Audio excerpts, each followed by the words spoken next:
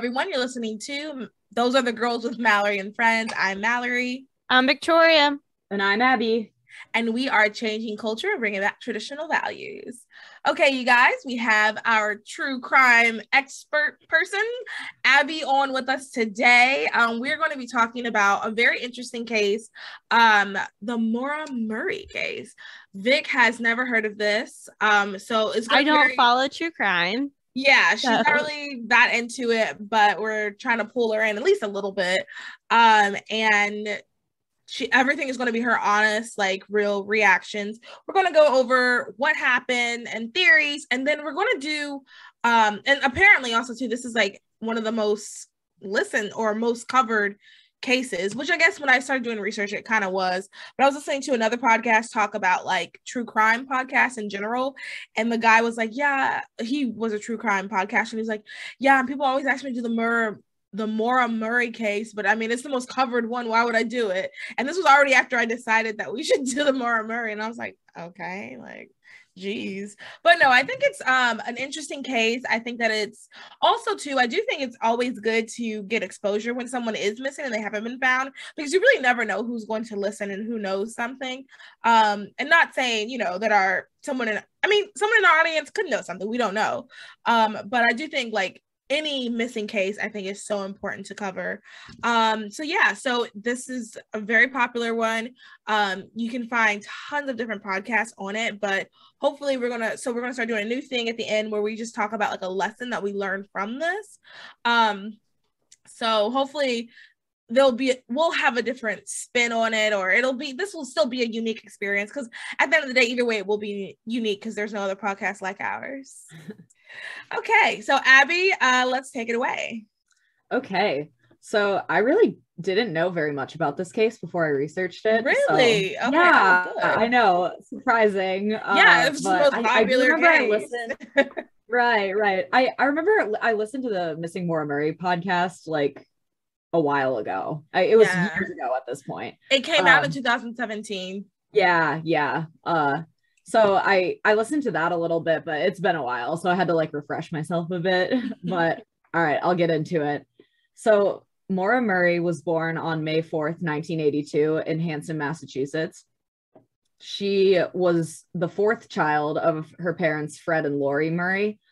And let's see, she was raised in an Irish Catholic household, which I love because I'm Catholic. um, so is Vic. Hmm oh, are you cool? Nice. Yeah, yeah. My husband um was Catholic, and then I like converted when got married. Oh, awesome. Very cool. So her parents divorced when she was six. And then after that, she primarily lived with her mother. So Maura was a star track athlete all through high school. Uh, and she ha- she was very smart. She had a stellar academic record, and that got her into West Point in New York, which is one of the best and most selective is- schools yeah. in the country. it is very prestigious like they do not just let i think i heard somewhere they only let in like 10% of people like that's their acceptance rate 10% Yeah, I'm pretty sure because it's military affiliated, they do all these like background checks. like, Yeah. that kind of stuff. Yeah, so that's also too just something um to point out that like for her to get into West Point means that at least um she had some sort of they did probably did a moral character check on her. So that's Well, just you ha- to think about. You have to have either a congressman or a senator from your home state recommend you. like, oh, yeah, you have I to. That's like- that.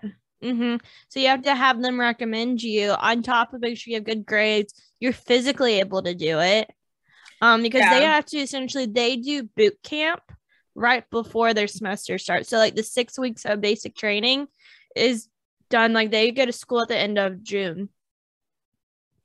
Yeah. So these are good things to remember about her character once we get more into um the story. Okay, continue. Right. Yeah. She was like a parent's dream, basically, growing Yeah. up. A good athlete, good ac- academics, pretty much stayed out of trouble from what it seems like. Yeah. So she went to West Point and she was studying chemical engineering. She was there for three semesters before she like had this huge change of heart and decided she wanted to go into nursing. So then Well, she Okay, wait, sorry. So to cut you off really quick. So in I want to say two of the podcasts I listened to. So I listened to um Crime Junkies podcast and The Mile Higher, uh, which is Kendall Rae. I don't know if you uh do you ever listen to the, her or watch I've never listened. YouTube? No. Uh, she's actually Kendall Rae is how I she's the one that I first started getting into it on YouTube. Anyway, so listen to them. So what they, according to their research, they said that she left um West Point because she got in trouble for stealing something out of um Fort. Oh gosh, why can I remember it? Fort my what? Okay, one second. Fort Myers, I believe is what it was. The Okay. a okay ah sorry everybody um and i want to bring this up because this kind of also um this kind of also uh goes into maybe her state of mind uh Yeah, fort knox Okay. Fort Knox. So she stole something out of Fort Knox and um they told her to take a leave of absence and that's when she went to um went to UMass. Well, okay, so here's the thing though. When um and Crime Junkie said this. So when the information about her first came out, no one knew that little side note and some other things that they said um that I don't know if you'll get into it, but if not, I'll bring it up. But everybody just knew her as this like picture perfect daughter. No one knew about her stealing something from Fort Knox. Um, but then eventually more information started to come out. So then it kind of changed, shifted people's opinions and it kind of shifted how things were.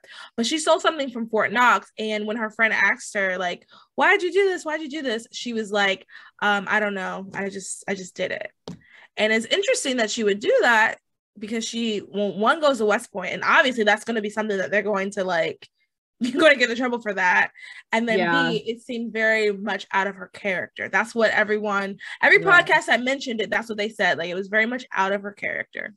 Yeah. I mean, the military takes stuff really seriously. Too. Like, they're Yeah. held to a higher standard than just regular civilians. So yeah. So they told her something like stealing is like bad, bad when she's yeah. at West Point. Yeah, and that's why I mean, you know, trying to think about her during that time, um, like why would you do that? I know that people growing up they would steal things for the thrill of it, but I just don't understand. Like you have so much to lose.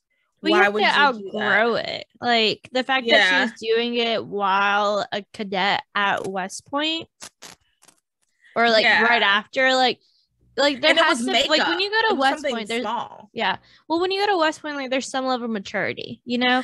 Yes, you have to have and the fact that her being young 20s is still still stealing like there's something not quite right like maturity wise mentally Yeah, like Yeah. not quite not quite right yeah, yeah. It almost seems to me like this kind of was a s- the start of her kind of going down a different path, like than she was. Yes, and that's what I think that was the point everyone made when they were bringing this up. Is it kind of this is where it kind of goes downhill because, like you said earlier, before she was like the perfect student. She did, had good grades. She was, um, you know, athletic. She was everything, almost a parent's dream, pretty much.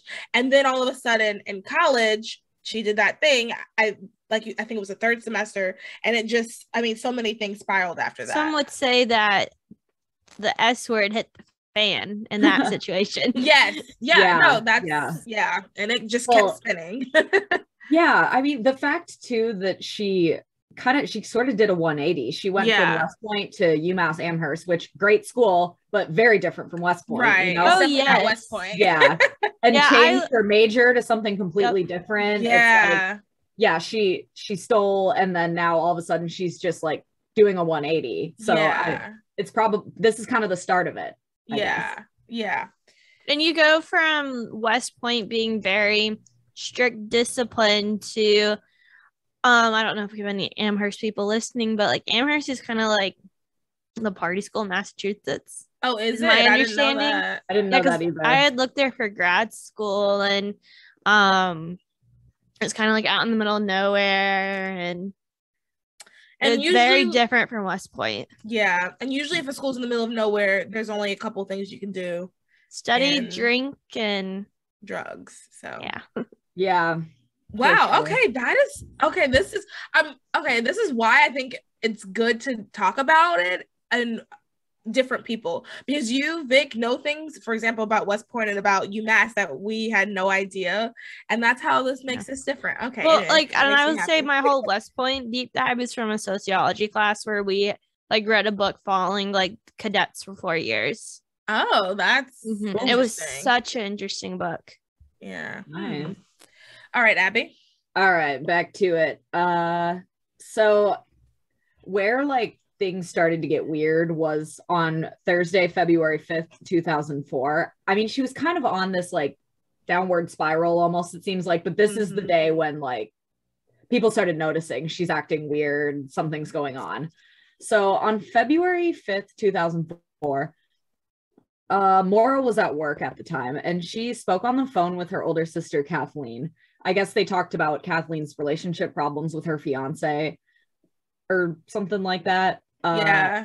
Around then 10 30 p.m., Maura was working and she just broke down crying. And her supervisor came to her desk like to ask what was wrong. And she was like inconsolable. And then when she like finally calmed down, she just like zoned out and was like not responsive. And her supervisor didn't really know what to do.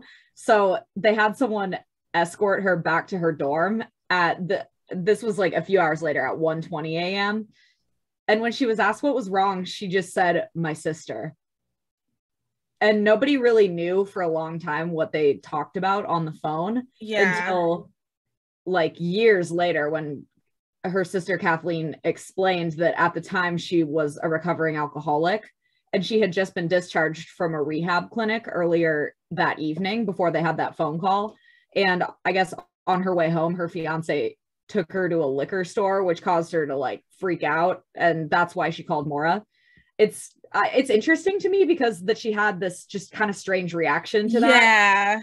Like, okay, so in the documentary I watched on Peacock, which was free by the way, um, they interviewed the sister. I didn't finish it, um, but in the episode I saw, they interviewed the sister, and the lady interviewer, she was like, Yeah, like if I heard that information, I understand like my I would have a bad reaction too. Trying to get the sister to like I guess it seemed like she was trying to get the sister to like understand, like maybe understand why she was so upset. But I just don't know if that was the appropriate response to your sister.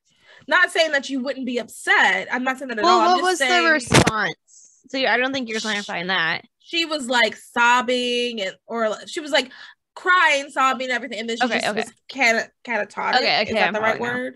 Yeah, Ca- yeah, she was just zoned out, not Yeah. responsive. Nobody really knew what to do or what was happening. I- Yeah. I, just think it's kind of odd. yeah that just seemed like a, a strange reaction i mean I- i'm trying to think like if my brother was an alcoholic and all of a sudden he relapsed or well she didn't even relapse she just implied or like she just went to a liquor store or something like that i don't know if that would be my initial reaction I think it would be for me more concern. than- yeah i don't think i would start sobbing at all No, yeah, I don't think that I would either. I would more be like, who can I reach out to to like make sure he's okay? Like, yeah something out. But yeah I mean, we all react to things differently. So that's true who knows? but I also think that like kind of leads me to almost wonder if that was really the truth. Because I mean, sometimes you just, and I'm not saying it's right, but like maybe you don't want to talk about something, so you just make something up. Like maybe something else was going on, and she didn't want to say. Maybe it was boyfriend trouble. And like I know that like if I was having boyfriend trouble, I don't really like to tell people. Like I'd just be like, I don't know, it's X, Y, and Z. So maybe it was something like that. I don't know. I just I'm very skeptical of that was the real reason. I believe that's what she said. I just don't know if that was really the reason. it could have just been something that pushed her over the edge too. Yeah, Mhm. that's true too. That's true too. Yeah. Okay, so then we're gonna jump to Saturday, February 7th, which is two days later. Maura's dad, Fred, came to visit her in Amherst. Uh, and they went car shopping that afternoon, and then they went to dinner with one of Maura's friends. Maura then dropped her dad off at his motel room, and she borrowed his Toyota Corolla to get back to campus because she was going to go to a party in her dorm. she arrived at the party at 10 30 p.m. Wait, pause for two seconds. I want to add, I don't remember which podcast it was, but someone said, and I think this is like very strange and an important thing to say, or just to talk about the dynamic of her and her father. He went there. Is she under? I believe she's underage, right? She's 20 or 21. She was born in 82. This was 2000. So she's 22 at this time. She's 22. Okay, so maybe I guess it's not that weird, but like he went with her to buy alcohol, let her borrow the car. And like to me, it's just kind of like, well, first of all, I think it's kind of strange if your parents go with you to get alcohol, but everybody has different relationship with their parents. But it wouldn't be strange in my family. okay, to me that'd just be really well. Uh, anyway, so okay, so that was one thing, but then also too the idea that like he's expecting her to come back with the car that night after he knew she was drinking because he went with her to get the alcohol. So I just think that's a little odd. That's a little strange to me. Maybe he was expecting her to stay over, but I don't know. Yeah, I thought it was odd too that she's going to a party, like presumably she's going to be drinking. He gave her the car. I was Yeah, like, maybe like, he, he just should expected her to her keep the car overnight, or I- I, Yeah. don't know. But I yeah, I, feel thought like- that was a little strange. and too. he should like if it was my child i would have dropped them off and then i would have kept the car because at least i know that like i like my child's not going to Yeah. drink and drive in my car like i didn't at least that's the least i could do so i just thought that was a little strange for a second Yeah. i thought she was like 20 but i guess 22 so yeah Or she she was- might have, I think she was 21 because yeah, she was born in May and it was so she was like Oh, about to turn 22. Okay, okay. So she was 21. So I mean, that's not that weird then, but I just think like if it were me, I would have tried to drop my child off yeah, and then yeah. yeah. So she arrived at the party at 10 30 p.m. and she left the party at 2 30 a.m. on that Sunday. So she at 3:30 a.m. she was on her way to her father's motel when she hit a guardrail on the highway. This crash was pretty bad. It caused almost $10,000 worth of damage to the car, which that's a lot of damage. That's pretty much the That's whole like car. almost totally the car. Yeah. it's a Corolla too. So I'm like, Yeah. I'm I'm surprised I- it wasn't totaled. yeah. I have a Corolla and I feel like a ten thousand dollar damage to my car would be almost total. Like I can't imagine. And also too, it's kind of hard to really damage Corollas too. You have to be like like that's part of the reason why I like it. It's it's a safe car. So you they're def yeah. And I mean Yeah. if she two thirty in the morning after a party, a crash like that, you have to assume alcohol is involved. right. So I'll get to that. So there was an accident report, obviously, because it was a car crash. Right. Eh, but there was no record of a performance of any field sobriety tests on her, Hmm. which I thought was super odd. yeah. That is weird. Okay. When the police like stop you, they always ask, where are you coming from? Where are you going? Yeah. So you know that they probably had a conversation about the fact that she was just at a party and Yeah. it's the middle of the night. She crashed car. The obvious assumption would be that she was drinking. Yeah.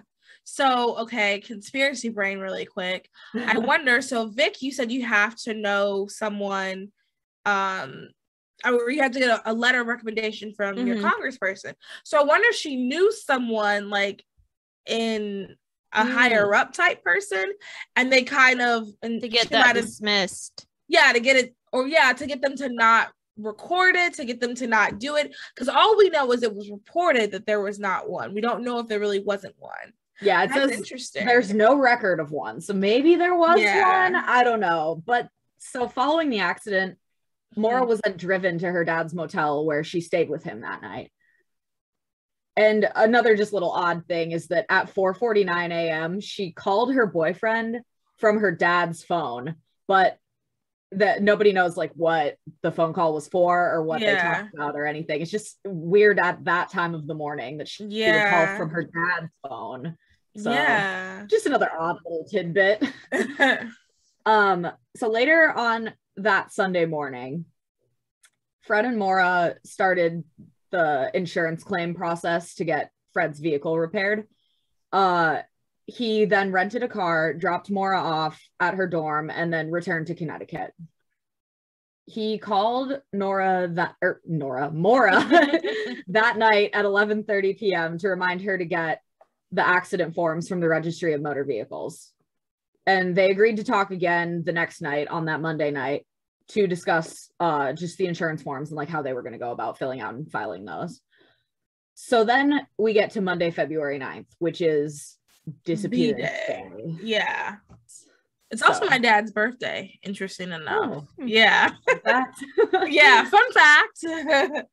so after midnight on Monday, so like very beginning of Monday, February 9th, Maura searched on her computer for directions to the Berkshires and Burlington, Vermont on like MapQuest. Remember MapQuest? yeah. TBT.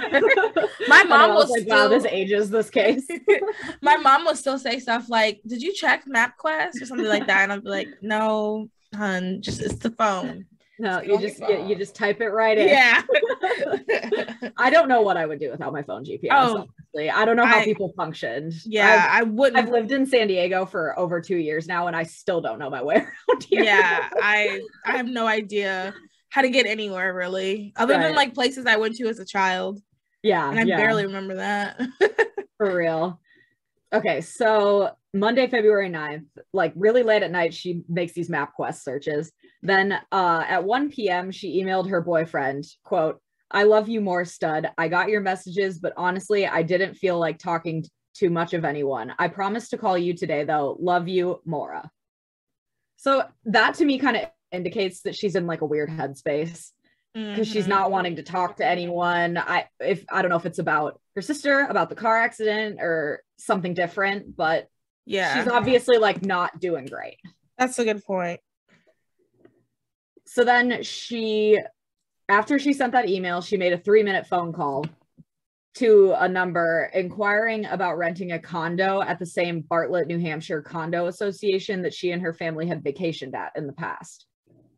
Which I find odd because if she's wanting to rent a condo, I, I couldn't tell if that meant like a short term rental, like she just wanted to take a trip, or if she wanted to like actually like move there yeah. that's what i was thinking too i wonder if it was like a well anyway we'll get to it keep going Right. Yeah.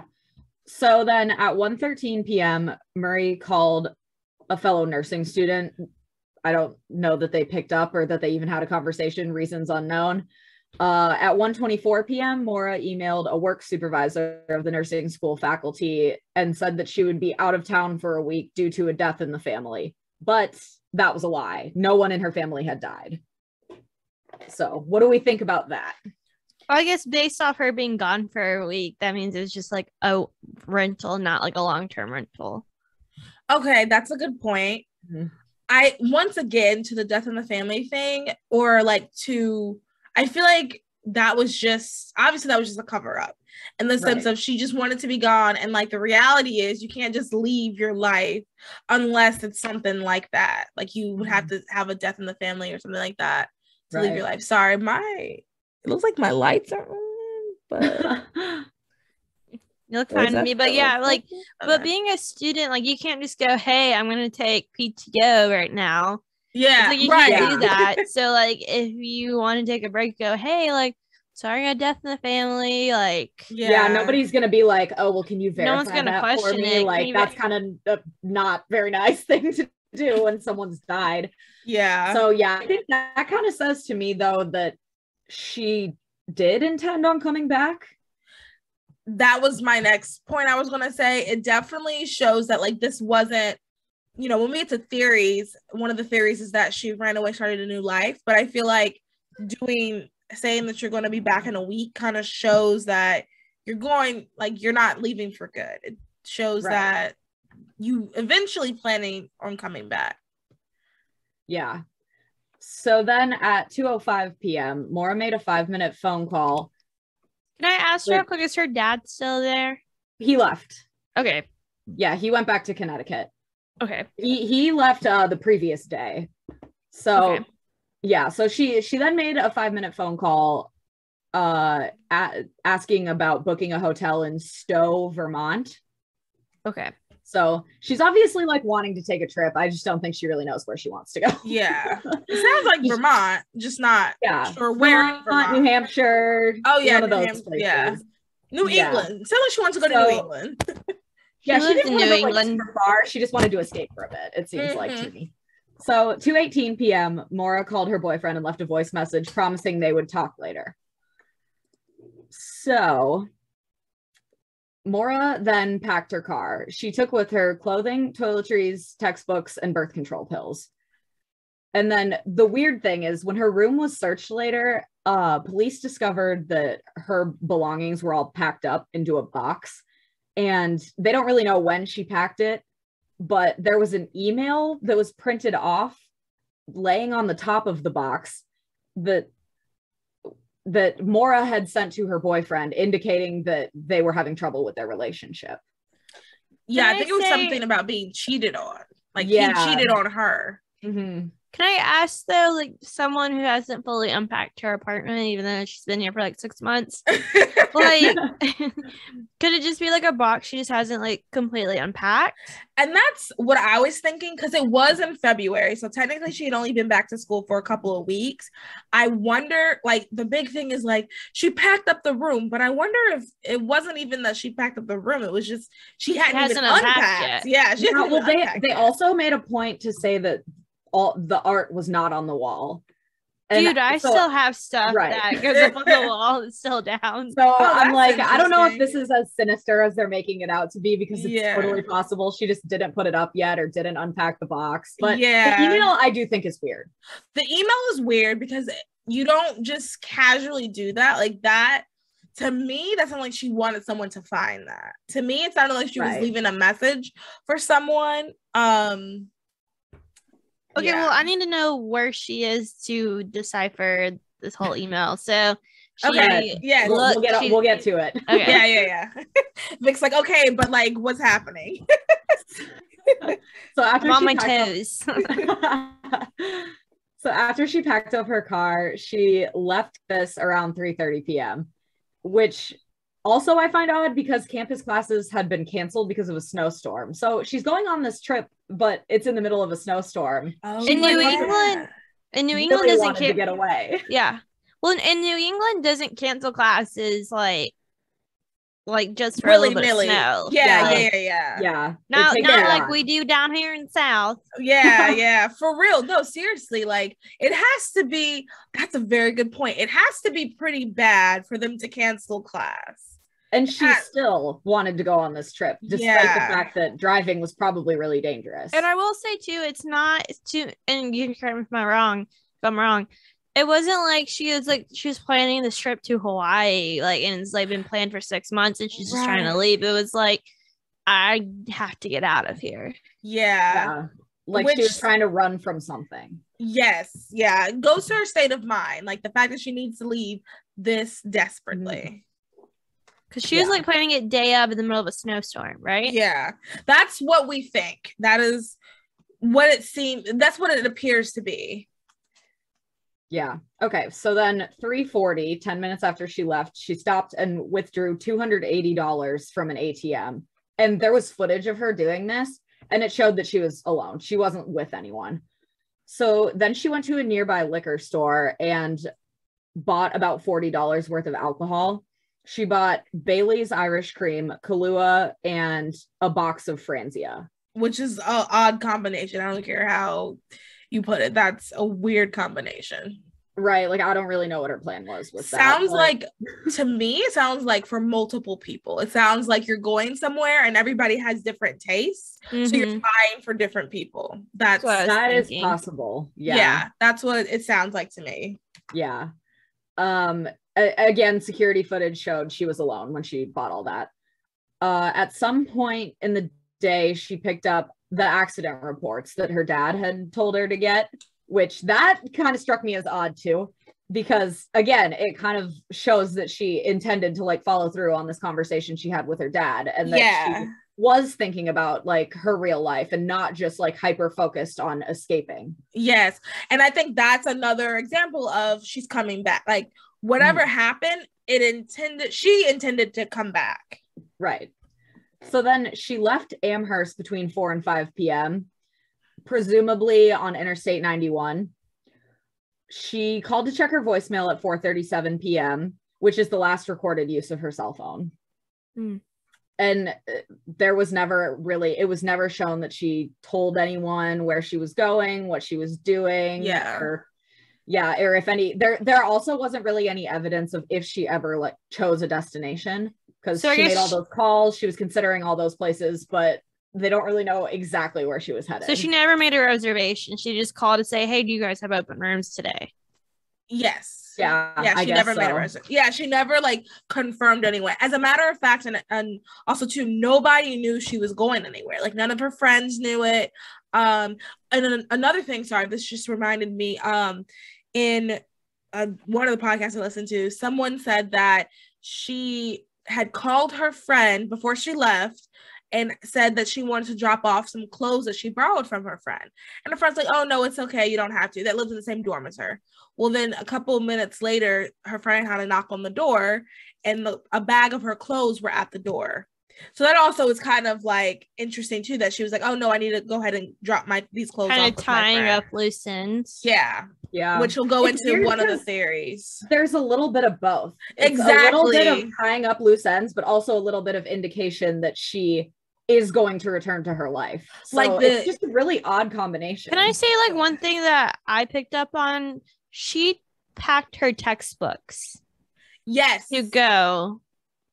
And you don't do that and you don't study if you don't plan on coming Right. I was gonna say if I was not gonna come back, the absolute last thing I would bring would be textbooks. I would be collecting dust in my bedroom. right, right. yeah. Okay, so the next sort of phase of this is car accident number 2. So at 7:27 p.m. uh a resident of Woodsville, New Hampshire heard a loud thump outside her house and through her window she could see a car against the snowbank. Uh the car, let's see. And then, and I will ask, this storm was hitting like all of New England. It was a big storm. Yeah, Yeah, it wasn't so- just in Massachusetts. she yeah she had driven a bit but it was still the the snowstorm was covering the area she went to so this woman who saw the car accident outside of her house called the sheriff's department at 727 to report the accident she the woman this is weird the woman claimed to have seen a man smoking a cigarette inside the car but she later said that she never saw that so i don't really know what Yeah. the deal with that was I saw that. That was strange for Yeah. a myriad of reasons. Right. Hmm. Um And but I we know eyewitness testimony is not very reliable.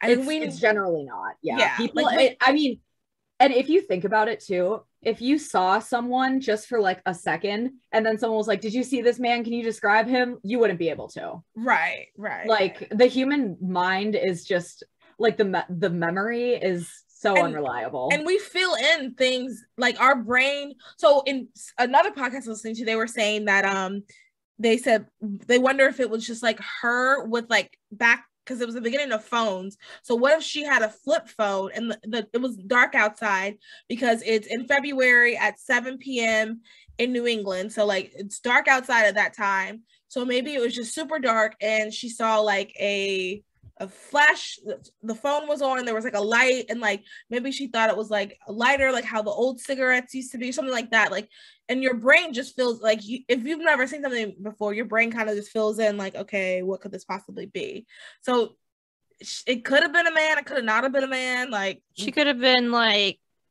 like, she like could a have worn a coat hat. on. Like she yeah. Yeah. wearing a hat, had a coat on. Like, yeah yeah, I don't I don't get the feeling that she this woman could see very well, especially if there was a snowstorm.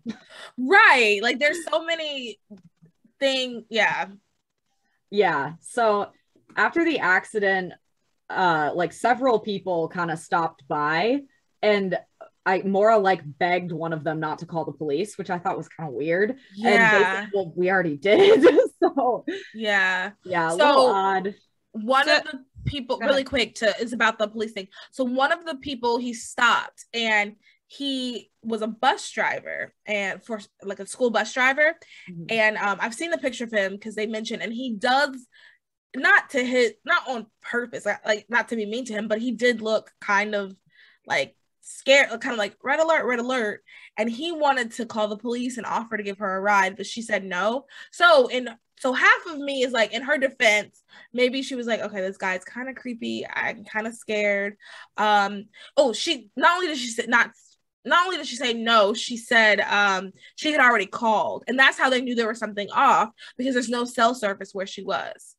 Um, mm-hmm. but yeah, so then the other half of me is kind of like, why would she not want help if she's in the middle it's the middle of a snowstorm she's by herself and she was in an accident and i don't know if you're going to mention it yet but the there was a cup a, a coca-cola cup and inside there was traces of wine so mm-hmm. she had been drinking so all these things yeah. together what i guess with the drinking part maybe that's why she wouldn't want him to call but like also too like if you know you're in that state of mind when you want help like i feel like you would want i don't know and if she got out of the right. dui before i mean i'm sure she really needed to she could do it again i don't know that's that part is yeah. very strange to me that she didn't ask for help nick what were you going right. to say yeah we're gonna get to what the police found it's very bizarre so at 7:46 so like not even 20 minutes later the police showed up and there was no one in or around the car. They they saw that the car had hit a tree and it like pretty severely damaged her car. The windshield was cracked, both airbags deployed, and the mm-hmm. car was locked, which I that that to me I she probably locked it. Yeah. Because if you're outside of the car, the only way to lock it would be to hit the button. Yeah. Yeah, so she had to lock it, which also kind of makes me think another thing if she locked it, does that mean she wanted to come back. Like, and she planned on coming back to the car eventually. Yeah. So inside and outside of the car, they saw red stains that appeared to be red wine. And inside the car, they found an empty beer bottle and a damaged box of Franzia wine, the one that she presumably bought at the liquor store. Um, he found a AAA card, blank accident report forms, gloves, compact discs, makeup, diamond jewelry, just sort of an odd yeah. combination of things. an odd combination, but also just once again, just a regular like 20 year old car, random stuff, probably not the alcohol because you know it doesn't mm-hmm. make sense to be driving around a bunch of alcohol, but just having a bunch of random things here, random things there. Also, too, now that I'm thinking about it, I wonder why she wouldn't take the AAA card with her. Yeah. Because you would need to know the number um to call and there's like a barcode, you would need to know that if AAA is going to come and help you. That's interesting. Right, right all weird stuff. Yeah. So the police also saw that she had like a package of wine coolers and it was like a 12 pack, but four of them were missing. Oh, so they I were thinking, yeah, yeah, it was weird. So she was drunk.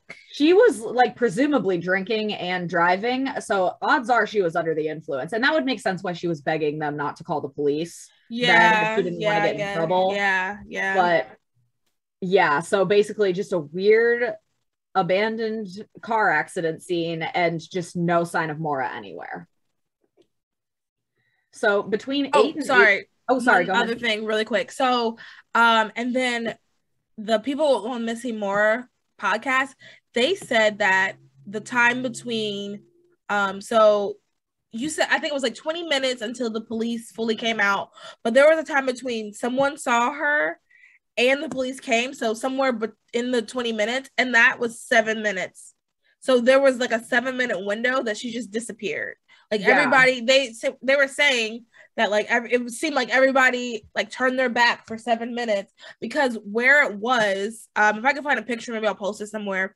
Where the accident was, it wasn't like in the middle of the woods or anything. There, it was almost in a neighborhood. There were people who saw it, like you were saying, there were people who saw it. So like she was there and people knew that she was there, but there was a seven minute window of just like, wait, where'd she go? Yeah, yeah. So between 8 and 8:30 p.m., someone saw a young person walking quickly on foot. And it was kind of around where the vehicle was. And he noted what the person was wearing. It was jeans, a dark coat, and a light colored hood. Hmm. He didn't report it to police immediately, but a few months later he did. So there's some speculation as to whether or not this actually happened or if it might have been Maura or not. yeah, I haven't heard this. It's kind of odd. Hmm. Yeah, that's Yeah. but it's still something something to think about, something for them to the police to at least look into. Mhm. For sure. So they drove around and they were trying to find her, trying to see if maybe she was walking around somewhere, but they never found her at 9:30 or sorry, at 8:49 p.m. the car was towed. Um at 9:30 the responding officers left. So it was kind of like what are we supposed to do? This girl's nowhere to be found. So just And- that's kind of how the night ended. Yeah. And I think also too from their perspective, they were probably just thinking, "Oh, this per looking at it, okay, this girl must be young. She crashed her car. She's drunk. She's probably just walking to find some place to call. It's not even a missing person. It's just a car accident. And we'll probably figure out where she is tomorrow when it's not dark and when it's not snowing. She's sobered up. And when she's sober up, she's probably gonna come and say, "Oh, something," because apparently, um, that happens a lot. Like people will, if they were drunk, they'll f- leave their car, sober up, and then be like, "Oh my god, what happened to my car?" Right. Um, so because that's they can't charge you with drunk driving the next day. They can't Right. test The evidence is alcohol. gone. Yeah. right, right. So maybe that's what they were thinking. Just like, Yeah. oh. That is possible. So Mallory, you want to tell us about some of the theories of what might have happened? Wait. happened? Okay. So she. Vic is gone. like, "That's it." Yeah, she's needs to catch gone. Wait. But So that's it. We we have no idea that was it. Nobody knows where she is. so they've never found like any. nobody, nothing. Nothing. And this wasn't like the middle of nowhere. It's like a decent residential area, correct? Correct. It was a Huh. neighborhood. It was in a neighborhood pretty much. Now it wasn't like it was more of like Waxhaw-ish. I'm it sounds Yeah, like, but yeah, yeah, yeah, but it wasn't like in the middle of nowhere where No. it's like miles between farms. Can no, I no, say like one thing that's interesting? It's like if she was traveling to a destination, why was she in a neighborhood? Ooh, I've never thought of that. Because like when I like I don't drive off into a neighborhood if I'm going to like somewhere. Like it's like highways, roads. And it's like you said it's like a residential neighborhood. It wasn't like it was just like a drive through like yeah. Yeah, I don't know what it's like where you guys live. And honestly, I'm really not that familiar with the Northeast at all. But yeah. I'm from the Midwest. I'm I was I grew up in Minnesota. And when you're driving in the Midwest, it is totally possible that you could be driving somewhere and just end up kind of on a country road. And sometimes they do go through neighborhoods. So Okay. it's possible. I don't know much about the Northeast, like I said, but it, it is a good point. It's possible she just got I'm off the up a- road and wasn't really even sure where she was going. I'm looking up a picture really quick just to see. Um okay. Okay, so yeah, I mean okay, Vic, that was a good point, but okay, I'm just gonna send it to you guys because if I show you on the screen, it's not gonna um so it was kind of like a neighborhood you could drive through. yeah, yeah. I think that you yeah, I guess. Um, I'm sending it to both of you. I'm just saying, like usually, Yeah. like a neighborhood, they don't plan neighborhoods around major highways. Yeah, that's a good It's point. kind of like my only like thought. It's like usually because of like the noise issues. Yeah. It's not Well- usually around major highways. it this it gives me very uh Waxhaw um Weddington vibes. Okay. Um so like the where it's circle is where the car was found, that the red circle. Yeah, So- I mean, I guess it's not like a It does look kind of like Residential, a wide road. yeah. Yeah. yeah, like it's not It necess- is possible she was headed somewhere. Okay. Yeah. on that road. Yeah. But no, that was a good point. Um I'm just looking at it and it just leads gets me back to the point that there was tons of people there. Like there's no way like that 7 minutes is very interesting or even if it was 20 minutes where nobody saw. It's just very interesting like what could have happened in that short amount of time that absolutely nobody saw or nobody knows where she is or anything like that. Especially because it was such a short period of time. Seven minutes. That's a very short yeah, period yeah, something crazy to happen that a nobody very short period. Okay, Yeah. Vic, do you have any other questions before we get into theories? And then you can tell us your theory. Okay. Um. So uh, she just vanished, and then was like never. There's obviously been people who have like been like, "Oh, I I saw her in Canada." I'll get into that in a little bit. Uh, That's well, I guess like of the there's never. ones. I guess my question is: Has there been any concrete evidence since she's vanished? not even. Here's the other thing too. There's not even a person of interest Mm. involved at all.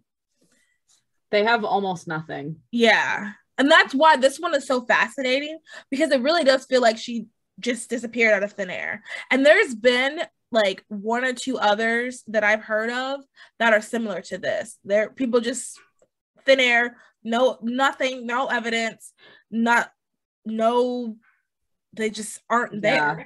What's the Mhm. name of the guy? Are you familiar with the guy who disappeared from the nightclub in Ohio? I forget what his name is, but he's it's a similar situation. He was, Was out he- with friends and they just he, they couldn't find him and they were like, "Oh, he must have just gone home," and he just was never seen again. Was it the one where they're like walking and they turn around and he's not there, but they're like, oh, it's so cold, something like that? Was that the one? I just heard one about that. Um, no, this one was different. well, let, me, let me get his name. Hold on. okay. Well, and I'll ask my last question. There was no evidence of anyone else in the car with her. There was no evidence of anyone else in the car. Like they did like DNA evidence, like making sure like everything that was kind of Yeah. They have like done thorough investigations on there's this. no They've been evidence- investigating it for years and years, and they Yeah. have nothing. because this Mm. happened in 2004, Yeah. and there's People no evidence. still- Yeah, there's no evidence that there was anyone in the car with her, but there. We'll get to the other part in one second. Um, so Oh, Brian Shaffer is the name of the guy. I That name about. sounds that so does, name does familiar. sound familiar. It's a Was similar thing. Oh gosh, when was this? This it was around. It was 2006. okay, that name sounds so familiar. Yeah, Well, I was thinking about the guy um who was in a crash and he was on the phone with his family or something and he said someone was there and was like running away but there was no evidence that anyone was there. And then i was also thinking about the guy this one's a little bit more popular where he was he hurt his ear or something like that and he was in the airport and they told him that he had to he was approved from a doctor or something like that. He freaked out and he just booked it out of the airport ran nobody knows what happened. He booked it out of the airport and then that's it that's the last nobody has no idea where he is that's the one i was thinking about as well okay. anyway the point is though like this seems to happen a lot um but it really isn't that common it just feels like it if you're in the true crime world I just I Um, feel like they usually have something though. yes It's rare that they have nothing. Yes. Usually there's at least a lead or somewhere that they can think, which is why, which is part of the lure of the Murray story, but it's also part of the problem of the Murray story because then you have a bajillion theories. I, there's two main theories, um, and then there's a bunch of just random little ones. I will talk about um, the random little ones first, I think. So, Sure. um trigger warning um one of the theories is that she committed suicide. And we kind of touched on this a little bit about how there were a few things that she did that seemed like she was kind of like wrapping up. Um the email the packing the clothes um not wanting anyone to know where she was so like telling the the um the guy who was going to help her like don't make that call. To me that also kind of sounds like that. But there's uh and then apparently she had problems with her boyfriend. Um but there doesn't seem to be any like concrete like oh yeah this girl is um going through that it did seem like how we mentioned earlier though that she was kind of going on a downward spiral um and you know, I don't like- necessarily. Well, I guess my question is like, do you think like she crashes her car, runs away, and carries what she's gonna use at for her suicide? I just think they would have found a body. I was That about to say that. I think if she was really going to commit suicide, they would have found the body. Well, you know, I say that. So, um, there was this guy when I was in college at Seton Hall. He's the only person I I mean I didn't even really know him, but he's the only person I know that's gone missing. He was we called him the Heelys kid, like that was who he was on like um Yik Yak because he wore Heelys all the time. So like when you get be oh spotted the Heelys kid at blah blah blah, like that's what they say on Yik I feel like every college has one of those. Has a Heelys kid. Just a guy that everyone knows about. yeah. Well, apparently, um, he like disappeared and they never well, but okay, here's the other thing. They left he left a note. I was gonna say they never found his body, but um They do never found believe- his body. they never found his he Wow. committed he committed suicide because of the note. People assume he left a note and they commit he committed suicide, but they never found his body. Wow. But I guess that will be the difference between him and Maura then, because she didn't leave a note. Um Was like there a body of water nearby? It didn't look like it. Let me look at the picture again. I don't think so. I think it's pretty easy for them to cover bodies from that though. That's what I'm saying they saying. I- float eventually. they eventually float, and sometimes they'll even drain bodies of water. I mean, Yeah. unless it's like a river and she just heading down river and like no one catches it. Yeah. Yeah. And I was also thinking maybe snow it could have been mar- buried, but eventually the snow will melt. Right. Um. So yeah, I just I don't think I think this is one of the least like credible theories. Yeah. I I mean, like we said though, there was things that indicated she was coming home and things that indicated that she was wrapping up, which to me leads me. Well, I'll say what my theory is at the end. She was potentially trying to decide. Like she was kind of I, in I between. don't think she was trying to decide. I think that she was in the middle of a, a break. I think she was having a, a, a what is it? Um, we were on a break. yeah, but in your mind, um, yeah, yeah, yeah.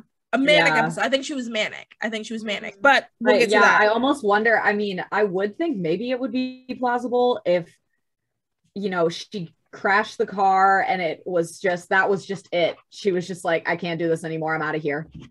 If Yeah. she intended on going back, but then that car crash happened and she was just like, I can't do this anymore. yeah.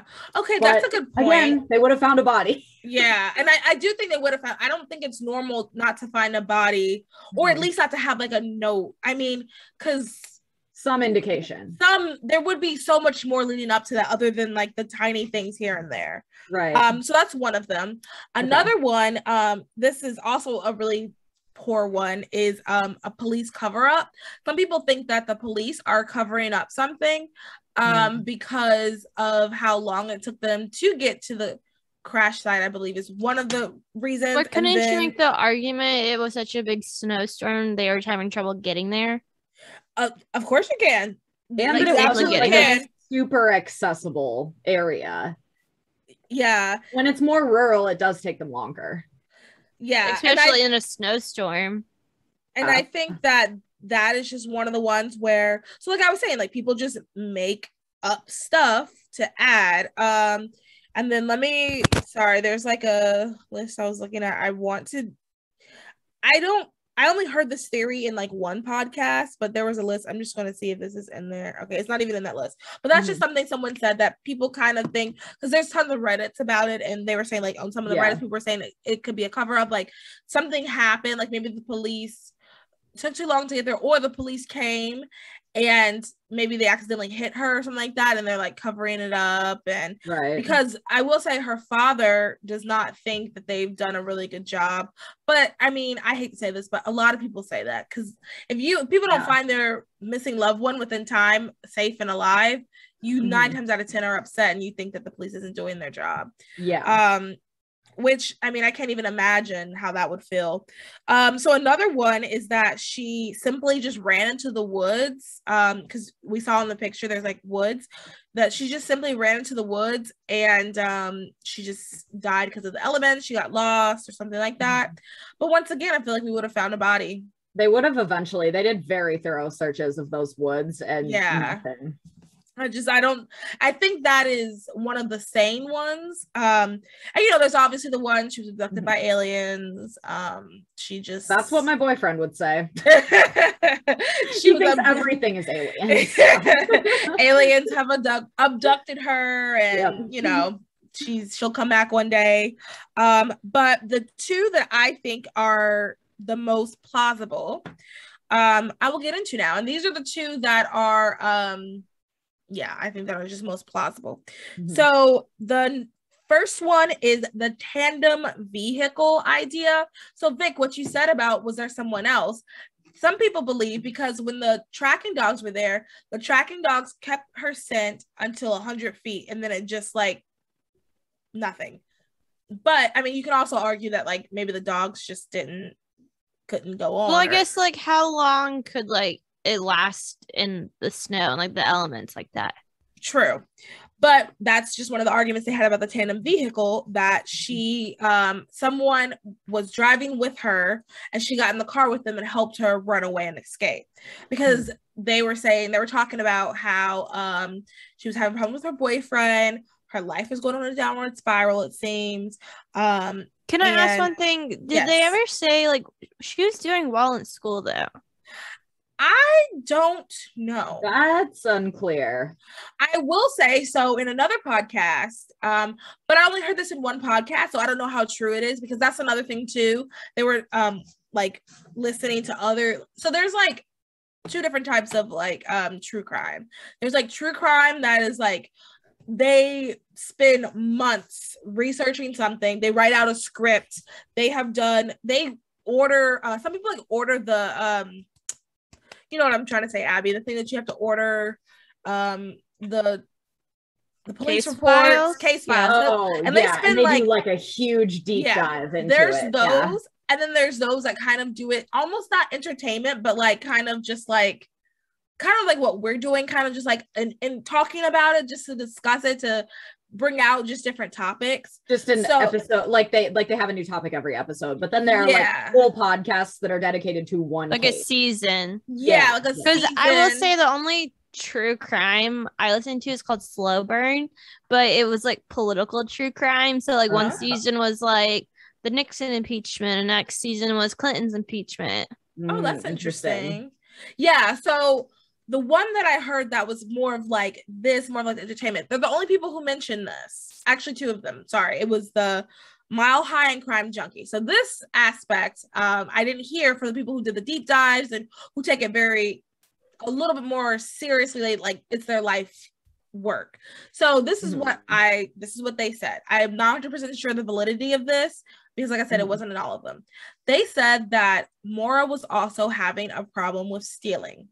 She stole her friend's card. I don't know if you've heard this, Abby. She stole one of her friend's cards and was using it to order food. Hmm. And Oh, she was buying like large amounts of food. Trigger warning again. The theory is that she was buying large amounts of food and she had an eating disorder and she was eating it and purging. Mm. Now, once again, there's not But like, that hasn't been confirmed That that, she was having no, eating disorder. like the um for example the documentary I watched and like I oh I also listened to like a Nancy Grace episode they didn't even mention this at all Mhm. so I don't know how true this is I'm guessing maybe this came from like friends and um but all that to say it sounds as if like if this is true you are seeing that her life kind of is not going the way she wants it to go which makes me think that she could have like once again i think she could have been in the middle of a manic episode that to be all of this sounds very manic it sounds like she's in a manic episode it sounds like um she's just yeah has um, it has she had any like mental health issues in the past? Like that's been confirmed. No, but statistically, um, mental health usually shows up um in college. Like, Mhm. and I'll say even for myself, I don't think I was ever really like sad, like super sad or like de- the word depressed until college. And I think Yeah, that that and honestly, yeah, I was about to say I don't really know anyone else who didn't have that experience. So I, I think a lot of this, um, like statistically, this stuff appears. Okay. So that's why I think it. That's what I think happened. Um, but anyway, so the all of these things, um, they said that someone came and like went with her. And then there's a theory that she might have also been pregnant because she was looking online. Um, she googled like can drinking affect a baby or something like a, a pregnant baby so they think she could have also been pregnant um so they think that she got in a vehicle and she just disappeared. And they think that she went, there's a theory that she is in Canada because there's been some people who believe they have seen her in Canada. Mm. Um, and where she was wasn't too far from Canada, I believe, is what um where the crash site was. Um why so why are they claiming she should be in Canada?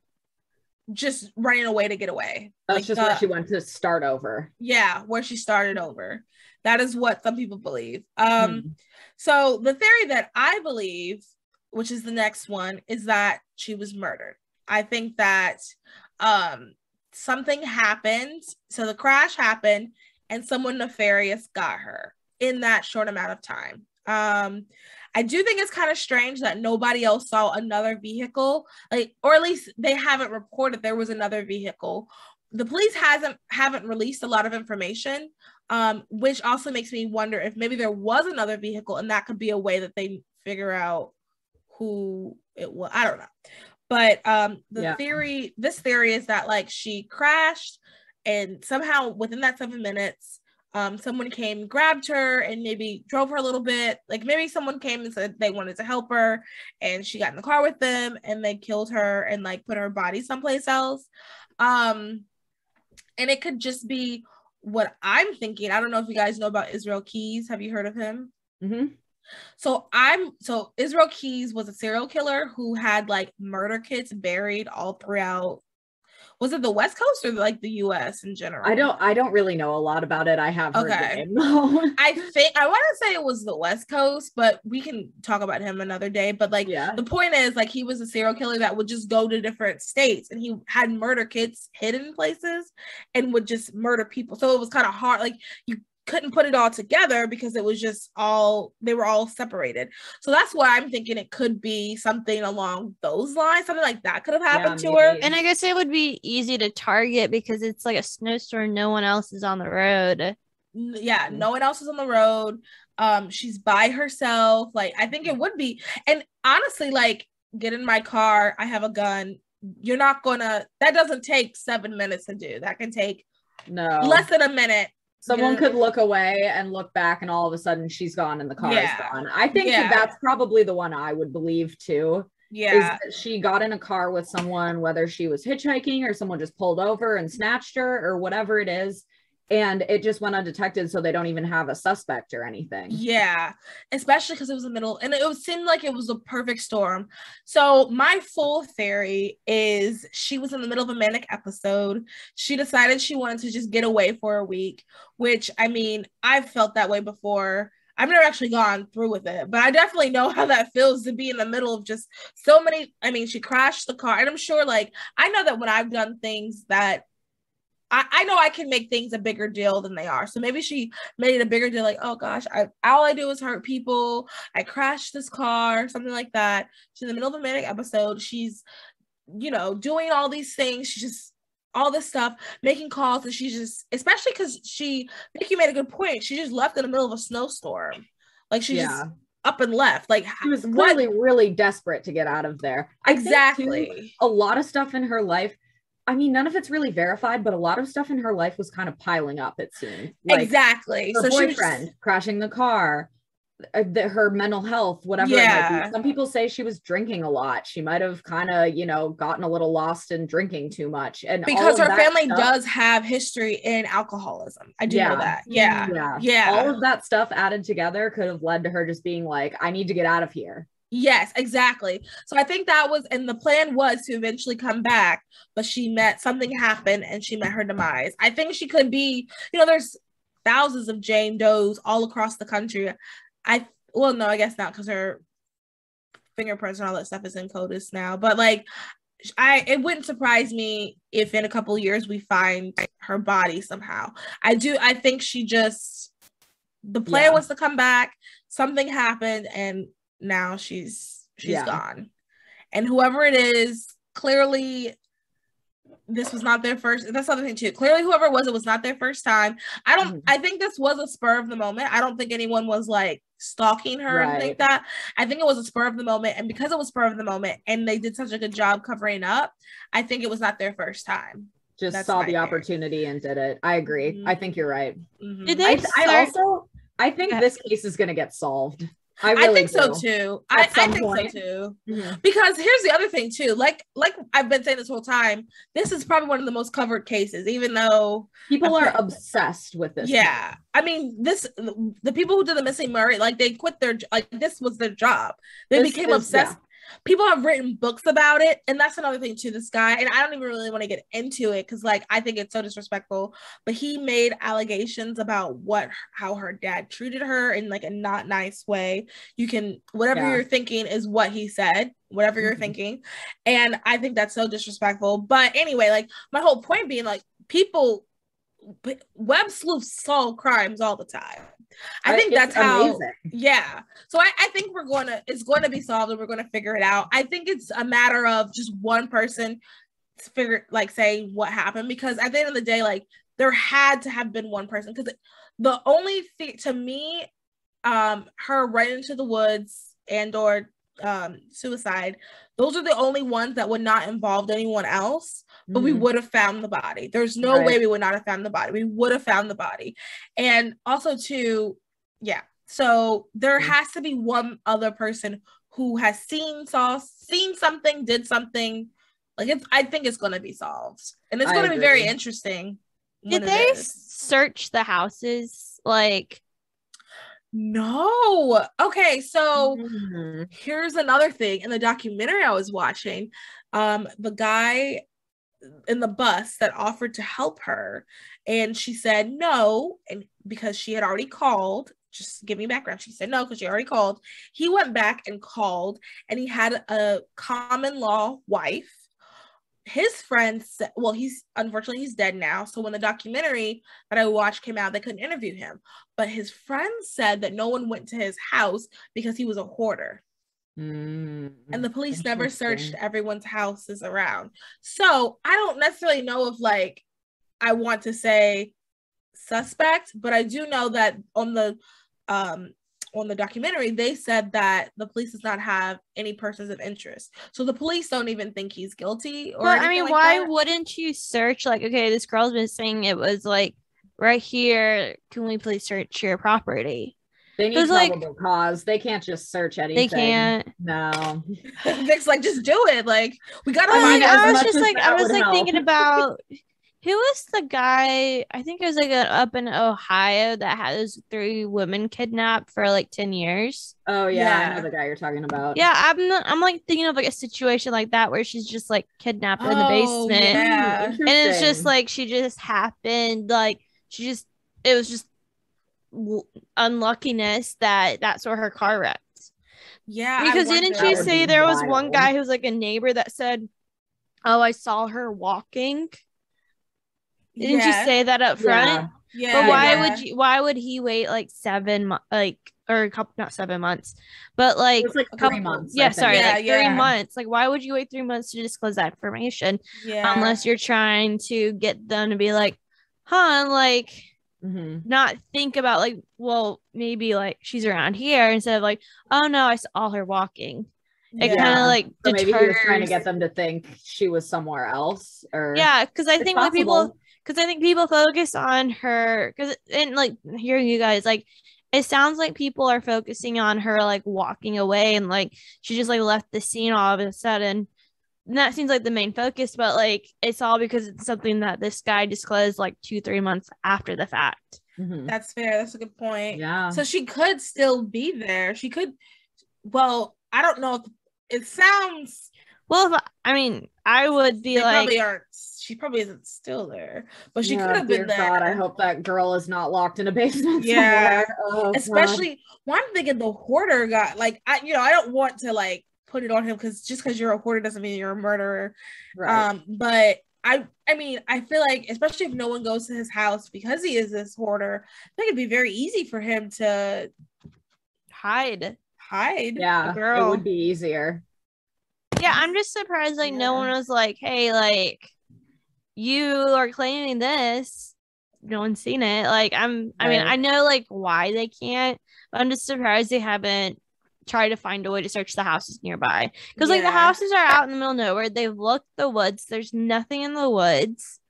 So it's like, okay, like Let's search these people's property. let's search these people's I property. really, I just doubt that they have enough evidence to well, uh, yeah. get probable cause to search them. I'm get, I'm guessing. I don't know these. It's definitely no probable cause. It would have to be, Yeah. hey, do you mind doing us? They a would have to give them consent. Yeah. Yeah. But then and it's also, like, one, the- two, three, Well, then also four, like the five. woman who heard the crash and just like looked out. Like if I heard a crash outside and I see someone crash outside my home, I would be going out there to help. That is odd that she just immediately called the police and then didn't go outside. I mean, it was a bad Well, snowstorm. I was gonna say the snowstorm. I think, Yeah. and then also too, like we're Southerners, we would oh probably good go out with like tea and like a blanket and come stay in our home. But mm-hmm. like, Yeah. not everybody is like that. But I do think, like that in the Midwest too. yeah, yeah, well, like- I just but like regardless of like hospitality, I've been I would have been like, like yeah, it's like snowing out, but like I would make sure that they're at least like not like dying right there, you know. yeah. Right. I mean, Like- yeah, you would think, but well, I mean, looking at this thing, it's multiple people saw it. That was what Mhm. everybody kept saying. Multiple people saw it. And looking at the picture again, I think I'll put the. I'm going to do a blog. Well, I'll do a blog post about this a little bit, and I'll, I'll put the picture on here. Looking at the picture again, But- they Go ahead. multiple people saw it. There definitely could be, like, they could have gotten consent and gone to one, two, three, four. Well, that, that's my thing too. Like when you describe it, I'm thinking like houses literally next to each other. These look to be at least a half acre to an acre lots. Like there's literally if like the circles where she's crashed, correct? Yes. Like that would looks like it's just like two houses, two to three houses, but Yeah. max. It That- made a that loud noise solid. though, so they were all at least alerted to it. And that's what I'm saying. Like they were that's why I feel like it made a loud noise. And I wonder where the lady's house was. It made a loud noise. So in my head, I'm like, I wonder if that also means all these people saw. So all these like But it's not like a hundred people that live on a block. It's probably No. like six adults max. yeah. Yeah. I feel like they could have I don't know. Someone def- like thinking about someone definitely could have and should have gone out to check on her. But also, but here's the other thing too: the guy in the school bus. Maybe it's one of those things. Oh, the guy in the school bus has her, and then he just and like they probably know he's um safe, but you know, so they're Right. like, oh, she'll go. He'll help her. They probably didn't think that she said no to him. Let me show you guys um um the picture of him just so you can know. And I feel so bad because like um you know he probably was a good guy, but it's just everybody that I talked to or I talked everybody I I listened to talked about how he was just kind of um creepy. But I will say, like, if I was in her shoes, like, regardless of what the man looks like, I wouldn't like feel comfortable being like alone with a strange man I don't know. Yeah, I'm very on guard with that kind of stuff. Also, Yeah. looking at this picture, I absolutely would have said no to a ride from that guy. and I feel bad because that's just how he looks, but like I know. It's just like you just get a certain vibe from some people. Yeah. I will say he looks like the basketball coach from One Tree Hill. Like that's the that, that's how I Oh, would really? describe kind it. of does. Yikes. Okay, I've never seen One Tree Hill, but interesting. Yeah. Um, but yeah, like, see, I don't know that because I myself, I'd be like, oh my god, it's snowing. I can't believe this. Like, this man. I, to be honest, I think I would have because in my head I'd be like, well. A, a serial killer is not going to be driving around in a school bus. And if you pass the background for a school What time of day was this at? It was like seven, 7 at night. p.m. Yeah. Seven thirty ish. Yeah. But why was he in a school bus he had finished his route. He was a at bus driver. seven thirty? And but well, they, the- they drive to sporting events. Yeah, stuff I was like, gonna like say. after Yeah, school but activities. That's I not that strange to me. I disagree because if school was canceled for her for this snowstorm, why would they be having a like basketball? That's a good point. But she's out. She's not. This is New Hampshire. She was in Massachusetts. That's n- literally next to each other. You said it was like this huge snowstorm that encapsulated all the Northeast. See, I still, I think it's possible, and I feel like that's a good point. But, But if like it, but if it like the that. snow, oh, but okay, but if the snow was so bad, why wouldn't someone come out to help her? exactly because the snow was I so know. bad. I that's think because I'm, no, that's thinking, like I'm from saying. a selfish mindset, the snow was so bad they wouldn't come out to help her. And then they say, "Oh, we know Frank. I forgot his name. We know Frank is a good guy.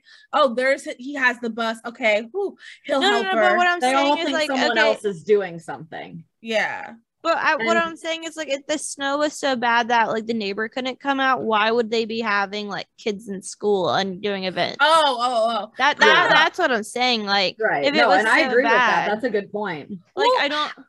I feel. I wonder if it was. Well, and I will say too, regardless, like if they're able to go to school, but it's still a snowstorm, I would imagine they would cancel after school activities because like the number one thing is just to get school done. They want to do it because it's going to get dark, stuff will freeze over. Like I find it very suspicious that a bus in the middle of a snow school bus in the middle of the snowstorm was still out at 7:30 at night. Well, see, I don't. I really don't think it's that suspicious. I'm so I'm thinking of possible reasons. Maybe because the snowstorm was bad, they were trying to get everybody home, and it was taking longer.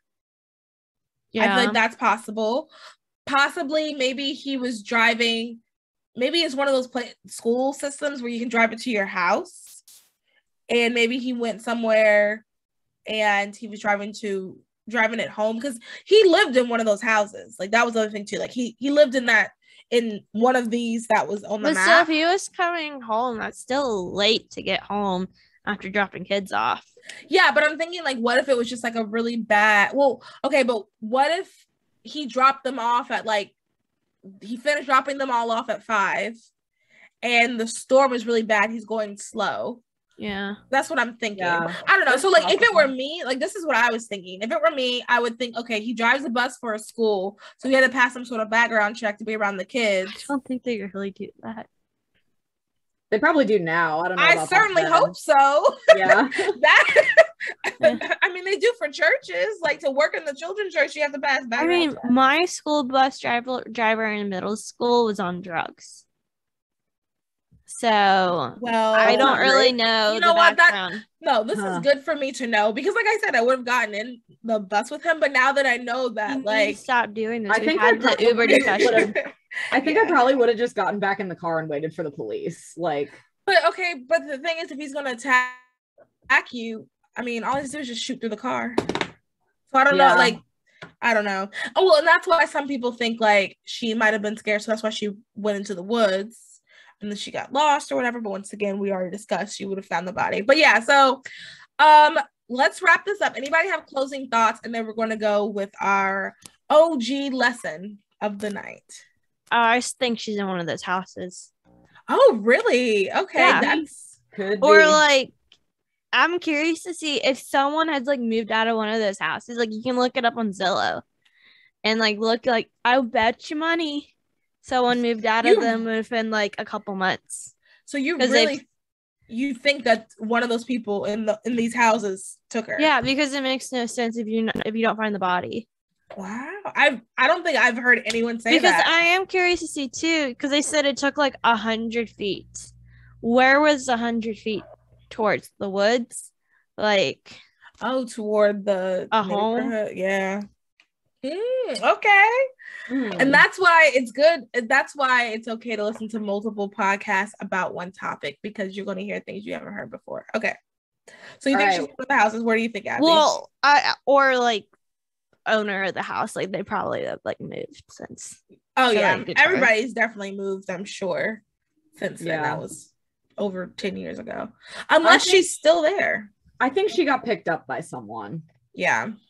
I think someone drove by or she was hitchhiking and she ended up getting in a car with someone and they did something to her. I think that's what happened. Yeah, I do too. I think it was one of those things where one of those serial killers that goes to multiple states and we're not going to find out about them for a couple years and then he's going to say maybe for when he's when they finally find him in Jesus name um they finally find him and they stop him and then he's going to be like I want time I have a special case for you guys and they're like what and he goes I know where Maura Murray is buried whoa Maura Murray is buried. That was so hard to say.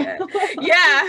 and he says, I know where Maura Murray is buried. And then they find her. I, I really think it's going to be one of those situations. It's going to be yeah, a I, I killer right. that has killed all across the country. All right. So, so takeaways. Yeah. So okay. So our OG other girl lesson. We're I wanted to start doing this at the end, everybody, just to like wrap it up and maybe to end it on a little bit lighter note, at least. Um, so I'm gonna say my takeaway lesson is really just um when you need help, ask in the sense of like, like I said, I think she was in the middle of a manic episode, and I think so many things were happening, and her brain or just started freaking out and i felt like she didn't know who to talk to or who like didn't know how to have help didn't and i think that if you're going through something like that especially in college because like we said um and honestly a lot of um a lot of the true crime things we uh, learn about when the especially girls when it is when they are in college it turns out there was some sort of like mental break or something like that. Um so i do think like if you are in college if you are in situations i really encourage everyone to ask for help.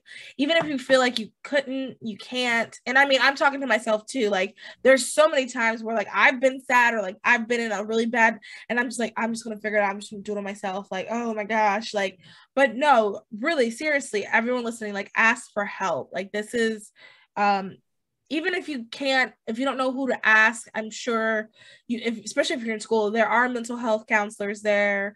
Um you can reach out to us. We can do our best. Um you know can't make any promises but we definitely right. will, try to help in any way. Just ask for help. Ask a pastor. Ask a youth leader. Ask the really sweet old ladies at your church would love to help you in any capacity. Absolutely. that and i prompt like any sweet old lady at your church if you were like you know what i honestly i'm at my wits end. I don't know who to talk to. She she would love to she'd probably make you some food too. Um yeah i had i had a similar takeaway. I i think too we need to realize that you're never as alone as you probably think you are. You know Mm, when things start piling up when things start getting crazy in your life it's easy to be like oh my gosh i'm in this all alone. I'm dealing with all this stuff. And i don't have anyone to talk to and i need to just get away for a while. That is not true. Yeah. You always have people you can reach out to if a friend honestly anyone even if you don't know them that well if you just say hey i'm struggling odds are they're going to want to help you. So, yeah. just you just know that you're never as alone as you think you are and you never have to just ditch everything and leave your life. Yeah. So I'll say you mm. guys both took my original takeaway. Okay well So that's I- good that we all give us yeah Yeah. So my addition to it as as like a friend or family member, just being aware when your loved one is going through a difficult time. Like yeah her, I feel like it's so much effort to get into West Point, and then to drop it and change your career all of a sudden, like. And I know like people, I don't know like people do that, but like from like a family's perspective, Mhm. should have been like, hey, is like, is everything okay? Like, why are you feel like you need to do this? And just like it should have been a red flag for her family and her friends to be like, something's not quite right here. Plus, I think you can go into nursing at West Point too. Well, that's what that's what I think Yeah. it is truth about the Fort Knox thing. I think she really did steal that because so she was asked to leave yeah, I think she was Yeah. asked to leave. Mhm. Yeah, because I don't But- think yeah she would just yeah. yeah, but Yeah. I feel like her loved one should have noticed something was going on Mm. and been conscious of this. So it's just kind of like my takeaway is like just being aware. Like I know like mm-hmm. we can get so distracted with like work and school and like social media and Well, like it's easy to get wrapped up in your own life too, Yes, and not And really if- give a second look to the people around you yeah. Yeah. Yep, exactly. And so just being aware. Also, whenever you're traveling by yourself as a female, carry pepper spray. Find some, way to protect yourself. thing. Yeah. So Yeah. Great takeaways. things. Yeah, yeah, yeah. I think these were good. I really hope you guys um enjoyed this episode. Um, I know this is one like I said earlier that is has been covered a lot, but I mean, I heard a new theory that I had never heard or thought about before. I don't know why anyone hasn't looked into the neighbors. Like these are the only people like they're around. not that suspicious. I feel like you're the Like- only people that think there's the only person that thinks they're suspicious. like these are the only people that were around and they're like we didn't notice any cars any other cars drive by like okay if i was like even if i didn't want to go outside i've been like standing at the window watching the whole time yeah. you know Yeah. like, Like until the police come. So until the even if- police come Yeah. so you're telling me that like like and i would imagine they're okay but that's something like i don't think anyone has driven by so like why aren't these your main suspects You're, these are the only people around Yeah. Mhm. Yeah. I mean that yeah, that's I don't know. very I Maybe hope I just solved the case in our lifetime. I would love that. i think i just solved the case i think she's in one of those basements Yeah, maybe you should it. email uh the police at UMass and tell All them. that hotline. I know. I mean, whatever. like, Yeah. hey, Have you guys thought about this? Um, but yeah, so thank you guys all for listening. Um, if you enjoyed this, please like it, subscribe, rate, review, however you're listening to it, YouTube, Rumble, or wherever. Um, and also too, if you have a case you think would be interesting for us to cover, please let us know. That'd be really interesting. I'm excited for the one we're going to do at the end of the month. Um, it's going to be really good. Um, but if you have any other ideas or anything like that, please let us know. Um, anything else add? Oh, our donation. We started doing donations again. We are collecting money for um feminine products, so pads, tampons, and we're going to we have um the link is in um on our website. You click that, you donate, and then uh we will go buy the products and give it to women in shelters. Um I think that's it. So bye everybody. Bye. bye guys. I'm I'm not recording.